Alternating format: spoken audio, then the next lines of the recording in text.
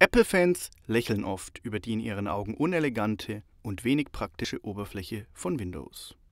Mit dem Snow Transformation Pack bringt man die elegante Optik von macOS auf den Windows-Desktop und nutzt gleichzeitig einige von Apple-Rechnern bekannte Bedienfunktionen.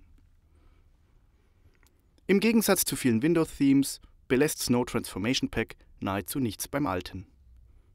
Die vorher unten angeordnete Taskleiste findet man wie auf Macs als Menüleiste am oberen Bildschirmrand. Ganz in originalgetreuem Trauton und mit Apfelsymbol. Auch der Original-Desktop-Hintergrund von macOS 10.6 darf natürlich nicht fehlen.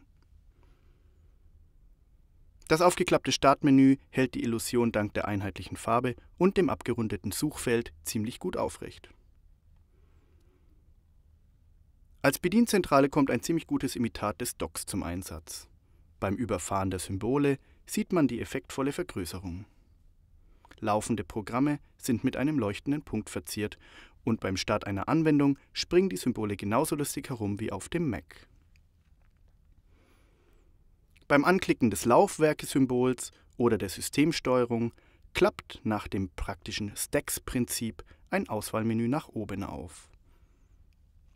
Wie beim Original kann man Elemente vom Dock in den Papierkorb ziehen oder neue Programme oder Ordner per Drag and Drop hinzufügen. Auch unter der Haube wartet das Snow Transformation Pack mit Liebe zum Detail auf. Kontextmenüs, Schriftarten oder das Fensterdesign wurden ebenfalls an das Apple-Design angepasst. Der per Klick auf das Home-Symbol geladene Windows Explorer gleicht dem Mac-Finder bis ins Detail. Alle Fenster kommen einheitlich mit den drei bunten Bedienknöpfen sowie abgerundeten Eingabefeldern und Scrollleisten daher.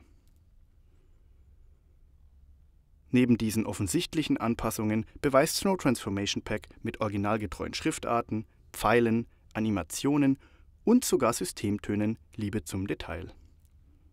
Mac-Freunden mit Windows-Rechnern wird das gelungene Paket sicher viel Freude bereiten